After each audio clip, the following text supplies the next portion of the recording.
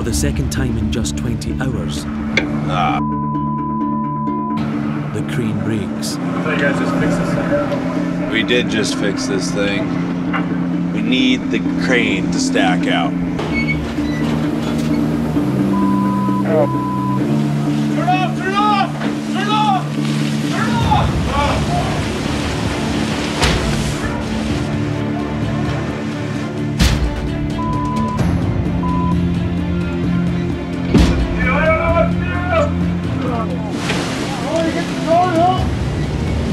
Try to get a line on it. Try to try to get a throwing hook on it or something, and get it pulled over. Stay the away from it, whatever you do.